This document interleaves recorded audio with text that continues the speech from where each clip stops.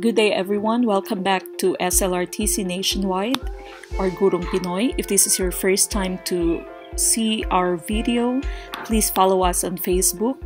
Click the thumbs up sign, that's SLRTC Nationwide on Facebook. On YouTube, we are Gurong Pinoy. Again, if this is your first time to watch one of our videos, this video again is about clerical reasoning, rules, samples, and explanations. Please make sure that you follow us on Facebook at SLRTC Nationwide or YouTube Gurong Pinoy so that you'll be notified of the next videos that we have. If you want a copy of this material that we have here today, make sure that you leave a comment in our comment box. You can also comment some of the topics that you'd want us to cover next. Again, this is clerical reasoning, rules, samples, and explanations. Once again, kung gusto nyo po ng kopya ng ating material na ito, ay maaari lamang mag-comment sa ating comment box, mag-leave na message dyan, or po pwede din namang i-message nyo or i-comment nyo kung anong topics ang gusto nyong i-cover namin. Okay, so we start with the rules that we have for clerical reasoning. First, clerical alphabetizing rules. If you are given the title plus the full name, okay, pag binigyan kayo ng title plus full name ng isang tao, when you alphabetize it, what you, you write first would be the last name, followed by the first name or the initial, followed by the middle name or the middle, middle initial, followed by the title. Okay, for example, if you have attorney Samuel P. Hernandez, this is going to be filed as Hernandez Samuel P. Attorney. So again, yung nauuna po ay yung last name or family name, followed by the first name, then the middle initial, and the title. Okay, so that's our first rule for clerical alphabetizing.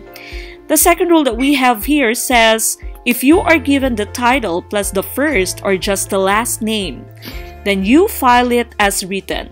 Okay, so that means kung title lang po, plus first or last name only, hindi full name, then you file it as is. For example, if you have Princess Diana, okay, that's just a title and a first name, you file it as Princess Diana. If you are given just father, which is the title, and the last name, which is Suarez, then you file it as is. That's Father Suarez. Okay, so that's our second rule for clerical alphabetizing. We go to rule number three. Spell out abbreviations. Pag meron pong abbreviations, yung mga dinaglat na mga terms or dinaglat na mga pangalan, eh, you need to spell them out. For example, you have Dexter St. Mark. This should be filed as St. Mark Dexter.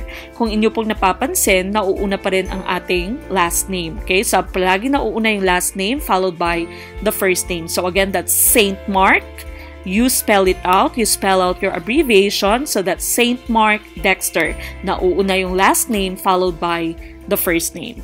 We go to rule number four.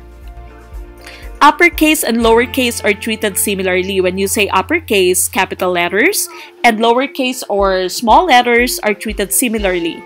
Okay, for example, you have McDonald, which is just the same as McDonald. Kung napapansin po ninyo, yung letter D dito ay capitalized or we're using uppercase letter. Dito naman po, it's small letter. Okay? But they are treated in the same way. They're, they are treated similarly. So wala pong pagkakaiba. McDonald is just the same as McDonald with small letter D. We go to rule number 5. If business name contains names of persons, apply filing rules for names of person. Okay, so kung ang pangalan po ng business name or yung pangalan po ng isang business ay may name ng person, we need to file it as the name of the person. Okay, we check our example here.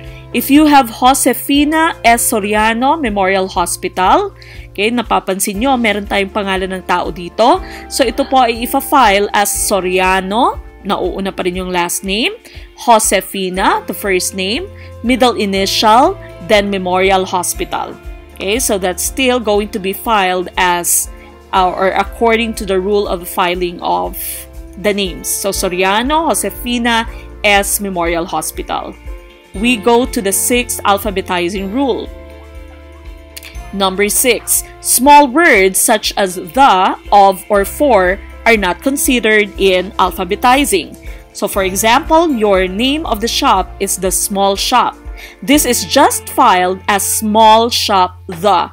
Okay, so yung mga maliliit na words like the, of, or for ay hindi po binibigyan ng gaanong emphasis. Okay, so again, this is just going to be filed as small shop the. We go to our next rule. Number seven, spell out numerals. If you have numbers in your names, such as 51st Avenue, this is going to be filed as 51st Avenue. That means you need to spell out the numbers. Hindi po pwedeng nasa numbers lang sila, so kailangan mong isulat in words ang iyong mga numbers. So that is going to be filed as 51st Avenue. Next rule. Businesses with the same names are filed according to their location. Pag pareho po yung pangalan ng isang nung, nung maraming businesses, ng maraming buildings, then ifa-file po sila according sa kanilang location. For example, you have SM City Batangas and SM City Iloilo. Since pareho po ang kanilang pangalan, ifa-file nyo po sila depende sa kanilang location. So you have Batangas and you have Iloilo. So sinasabi ng atin ng example, SM City Batangas comes before SM City Iloilo. Okay, so this is going to be filed first before SM City Iloilo. Next rule. Government departments are filed according to their purpose. Okay, so depende po sa purpose ng ating government department. For example, you have education or Department of Education at meron kang Department of Finance. You file this as Education Department of and Finance Department of. So, mas mauuna po yung Education Department of kaysa sa Finance Department of. So, hindi nyo po siya i-file na nagsisimula sa letter D. Okay? Or as, as in department, magsisimula po siya sa letter E at sa letter F, depende po sa purpose or sa gamit ng naturang department. Clerical reasoning po is part of the sub-professional level of civil service examination. Sometimes this may also come out in some entrance exams. Rule number 10. Initials come before longer names. Okay, for example, you have Castro A and you have Castro Ana. Okay, pag initial lang po, pareho po silang nagsisimula sa letter A. This one is just letter A as is, just initial. This one naman, you have a full first name, which is Anna. Okay, so yung initial po would be filed before the longer name. Number 11, hyphenated names are filed as one. Ano po ba yung tinatawag nating hyphen? When you say hyphen, these are the dash. Okay, so hyphenated names, ang mga pangalang may dash are filed as one.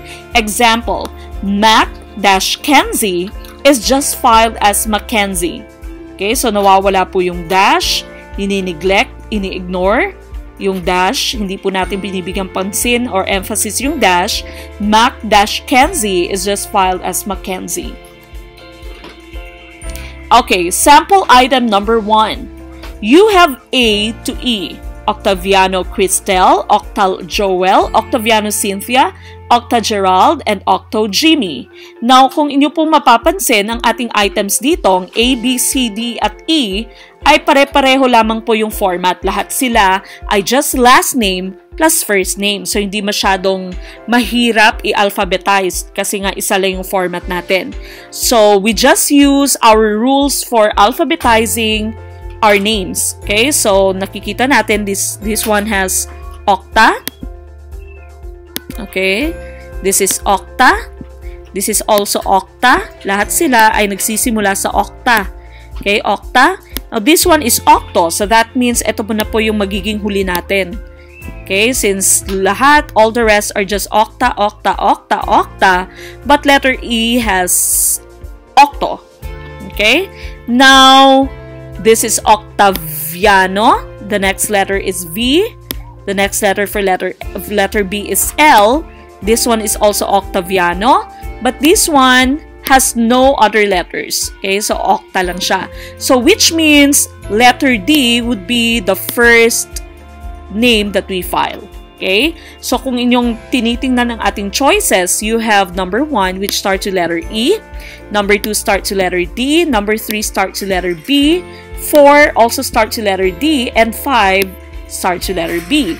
Which means, sabi nga natin, sa pagpa-file ng names, mauuna yung octa. Okay? So, octa Gerald would be the first one. Which means that choices 1, 3, and 5 should already be neglected. Okay, we should already uh, neglect or avoid choosing this or as our correct answers because this shouldn't be the correct answer. Okay, now we already said that no, letter E should be the last one. Okay, so we check number 2 and number 4. Pareho po silang ending with letter E. So that means safe. Okay, both of them can still be our correct answer. We check the second letter that we have here in our choices. Pareho silang B. Okay, so this one means letter B here should be the second name that we file. Now, nagkakaiba sila sa third third letter. Okay, yung number 2 mo is, is your B is followed by letter C. For number 4, letter B is followed by letter A. Okay, so we check A and C. Titingnan natin kung saan mauuna. Is it letter A or letter C? Now, both of them are Octaviano. Letter A mo is Octaviano. Letter C mo is also Octaviano. But this one starts with letter, letter K for the first name. That's Cristel. The other one um, letter C mo starts with the letter C, which means that this should be our choice. Okay, so that should be D, B, C. Okay, now this one, number 4 mo, is DBA. So that means this is the wrong answer. So correct answer for this one would be number 2. Okay, number 2 should be the correct answer. Now we go to sample item number 2. You have Sister Rose, Father Alain Bisikat, Princess Kelly, Mayor Bert K. Montenegro, and Dr. Valencia. Kung inyo pong napapansin, iba-iba po yung format ng ating uh, mga, mga given items.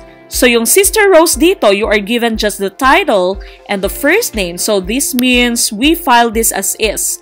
So we look at the first letter there, which is S, S okay, or SIS.